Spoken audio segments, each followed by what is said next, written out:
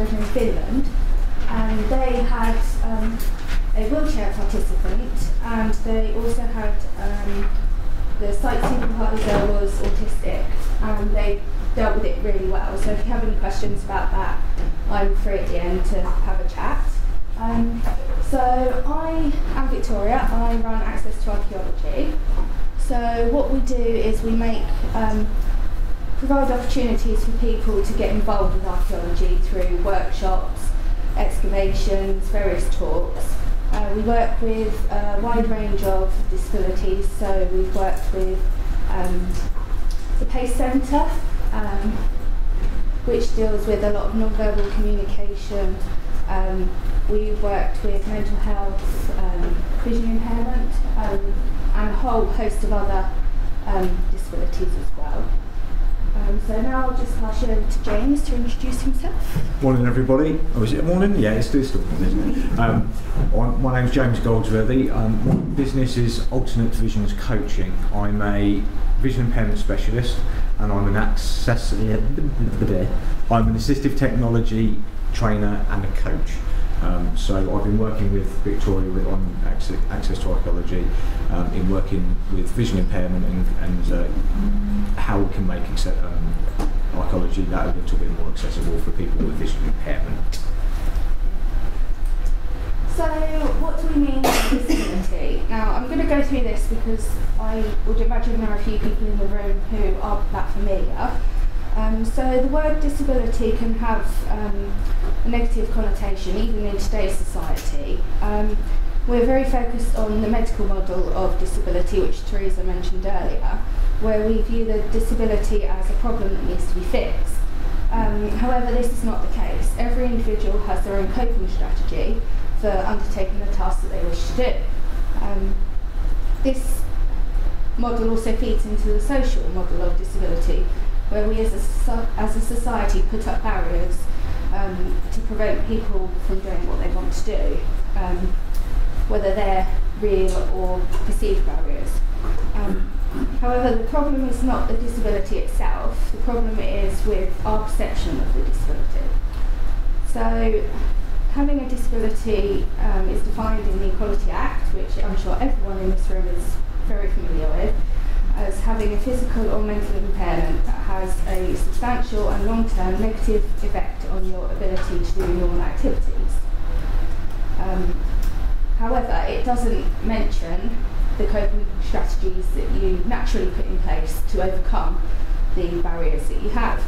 So, as mentioned in the Equality Act, not all disabilities are visible. You don't always know if someone has a disability, so mental health is, is a major one which um, is only really just being more openly spoken about. So, unless you're aware, you would not necessarily know that James is blind. So, now I will pass over to James to talk about vision impairment. Okay, so um, as Victoria said, I'm blind. In fact, I'm what's classed as severely sight impaired, which is, for all intents and purposes, absolutely nothing. I've got no light sensitivity, no movement, no colour, nothing, absolute blackness. Um, so just as a bit of an overview really, um, visual impairment is generally um, divided into two categories. First of which is severely sight impaired, like myself. The second of which is vision impairment, which is which can range from somebody that needs really severe um, prescription glasses all the way up to having enough vision to move around, navigate outside in their, on their own, or, or move around their own home, and they can perhaps see some light, some colour, and some movement, but really there's no um, no great degree, of detail. Um, the severely sight impaired category, which is what I am, um, can range from the uh, having light and movement, but not enough to actually personally navigate yourself around outside. So that's generally how it's how it's classified. Um, so visual impairment and archaeology then. Do you think archaeology can be accessible to visual impairment? On the surface of it, most people probably go, oh no, you can't possibly do that. Well, that's rubbish. It's perfectly, perfectly accessible. You can do it. I've done it. You know, I'm not an archaeologist, by the way. I've apart from a case study we did last year, I've never been involved in archaeology at all. So this has been really interesting for me. And um, I can categorically say that yes, archaeology is perfectly accessible to people with visual impairments of all degrees um, with a few tiny, tiny little adjustments. Okay. Um, so briefly, just to explain this slide a little bit, um, up here are four um, of the main sight conditions that you can get. You've got age-related macular degeneration, and it kind of affects vision in this sort of way. So you've got normal vision as an immigrant, but you lose central vision. Um, so that makes things like reading awkward.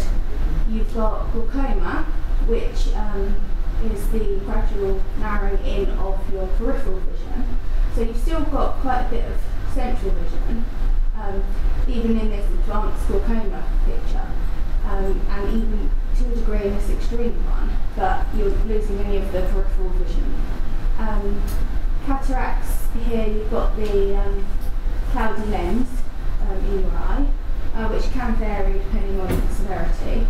Um, and then you've got diabetic retinopathy, which I think is the nastiest one, if you can call any of them particularly nice, but this one isn't very pleasant at all. Um, you can lose spots of vision anywhere in your eye, and it's due to the um, blood vessels um, replicating. Uh, just correct me if I'm wrong on any of those, James? No, you won't. No? Okay. it's been a while since I've done that bit. Um, okay, so now I will tell you about last year. Um, we did a four-week excavation with Gate, a mental health charity in Buckinghamshire.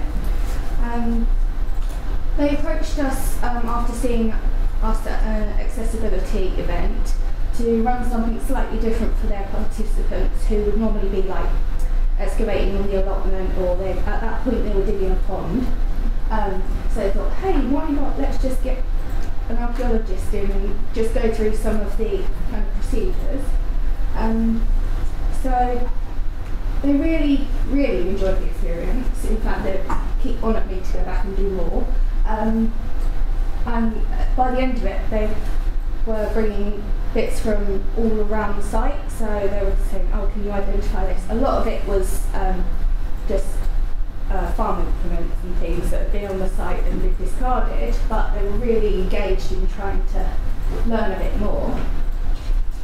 So, as part of this, um, I invited James down for one day to see how we can make it more accessible for someone with sight loss. Um, personally, I made no cha changes to the methodology. Obviously, I did the uh, risk assessment uh, based on James's specific needs, but if you're which you can do if you know who's coming on site, so you can um, make it really, really safe. Although that's not doesn't necessarily mean that you're not get the odd accident, but we won't that. Um, so um, I made virtually no changes, and we did a lot of the um, accessibility um, adaptations on site on the day. So I'm a trained sighted guide, and we had another volunteer who was available to help. Um, so now I'm going to pass on to James to get a participant's perspective. Okay, so as I mentioned earlier, I'd never done this before. I was quite excited. It was a gorgeous July, it was the 8th of July, wasn't it? Mm-hmm. Um, gorgeous sunny day, you know, shorts and t shirt weather. It was either lay out on the grass and get sunburned or go and do a little bit of archaeology. So uh, I will just point out you are actually wearing a fleece in the picture. That must have been before we started. It must have been in the shade. It was nice though, because I remember being boiling hot. Yes. Yeah. Anyway, it was honest. Um, okay, so um, yeah, so as, as Victoria's mentioned, you know, when it comes to risk assessments, you can do a standard risk assessment, um, and that's going to cover you for anything anyway. So you're not actually doing any additional work um, in terms of, you know, having a vision impaired person on site. Obviously, it helps because Victoria and I have worked together before, so she knows me, so she had a bit of a head start. But actually, um, for all intents and purposes, a standard um, risk assessment. Um, Victoria is a trained um, I nearly said psychic guide then. is, a, is, a, is a trained guide for visually impaired um, people. So uh, that's really handy. Now, I would always encourage anybody that's going to have a vision, visually impaired person or visually impaired people, indeed, on their site to actually have at least one person that is fully trained up. And by that, I mean really has attended a training session, done the workshop, had some hands-on experience and things like that. On the day, we did have a chap that was very, very, very willing to um, become trained in sighted guide and have a little bit of on-the-job training. So basically, we threw him right in the deep end. And um, it was a really good learning experience for him. It was a good laugh for me because you know it's brilliant winding people out when you when they're guiding them around, and it just takes the edge off a little bit. I, mean, I, I, always open with, you know, if I go down, I'm landing on you. So it, it, it, it, breaks the ice a little bit. So that, that works really nicely. So that's always something to bear in mind. Um, certainly in terms of your risk, risk assessment as well, if you've got somebody that is fully um, sighted guide trained, then that's going to help you with that. Um, and it just covers you a little bit more with insurance and things like that. So it's just good practice, I, I think. Okay, so moving on to the specifics of the day. So uh, in terms of um, having somebody that's visually impaired along, a lot of it lies in the preparation, as you can probably imagine. So the first thing, of course, is point of contact. Now, Victoria and I already know each other, but for, for a moment we pretend that we didn't know each other. And I'd approach Victoria and said, Look, I'm really interested in, in doing this, I'm, but I'm blind, um, never done it before, a bit nervous, what do I need to do? She's got to communicate with me, probably going to have a telephone conversation, but most communication is going to be via email in terms of documentation and things like that. Now, I can't stress enough that it's really quite important that these things go out in an accessible format. It's no good sending somebody that's blind or visually impaired something that their, com- their computer software can't read. So, as a general rule of thumb, a Word document, a PDF document, or a plain text document can't really go wrong because practically everything will read these those things these days, whether it's a smartphone, a tablet, a PC, a Mac, whatever. Okay, so that's a really good rule of thumb to start with. Um, now, on the day, what we did was we spent, it was about 10 15 minutes at the beginning. Um, Victoria actually showed me how to use the troweling technique. I didn't have a clue, I just thought I'd dig it, throw it in the bucket, that was it. So, you know, we spent a bit of time. Um, she had some soil in a, in a big tray thing and she showed me the technique, how to hold, what I'm feeling for, um, and the gentle scraping rather than the digging and flinging it over my shoulder, which I was expecting. So now that was really very, very useful. So I'm, I'm sure you can all imagine that when you can't see anything at all, tactile is massively important. Okay, so getting hands-on experience is really, really important um, to anybody that's blind or got a, got a visual impairment because it's, it's that extra sensory experience that actually gives you more feedback so you can understand what you're doing, you can get your head around it, it's a hell of a lot more interesting and it's much better than somebody standing in front of you going, you get the trowel, you just scrape it, oh, it's just, you know, so you can imagine. Right, so that was really useful. Now, something as an aside came out of that. I had no idea that there were so, so many different types of trowel that you can use, like the curved edges, the fade. Oh, was just a new world for me. but what I did notice is we tried, I think it was four or five different tri- trowel types out, and it was very apparent to me straight away that actually wooden handled trowels are much better for feedback because the feedback comes through your hand you can feel what it is. Now that most people wouldn't, wouldn't notice that. It's only ever going to be a blind person that's even going to notice that. But that's a really useful little tip. Rubber handle ones not so good because obviously the rubber absorbs the feedback that you're getting through your hand, therefore the information that you're getting to the brain, uh, and so on and so forth. So that was a really nice, useful little thing, which was quite quite interesting. So um, we did that as a bit of preparation first. Um, gave me an opportunity to ask questions You know, what on earth do I do if I find something? Do I jump up and down on the spot saying, I've got it, I've got it, or, or whatever? Um, but uh, that it just gave me a chance to answer, ask questions. Victoria could answer them, and yeah, made me a lot more comfortable. And therefore, I think now, obviously, I'm quite a confident blind person. Not everybody's as confident as me. So if you've got somebody who's really quite timid, doing something like that is hugely valuable, hugely valuable because it gives them a little bit of confidence in what they're doing, and they don't feel like they're being put on the spot um, when they actually get into their into their hole. Um, okay, so the next thing we dealt with was actually getting out to the dig site itself. Um, so we're in like a Portakabin, you need to walk probably about 60 metres, I should think. Um, and it was over very rough ground. It was dry grass and clumps and mud and stuff like that. Now, it's quite important really to, to communicate the ground conditions underfoot to the person that you're guiding for obvious reasons. I'm sure I don't need to spell it out.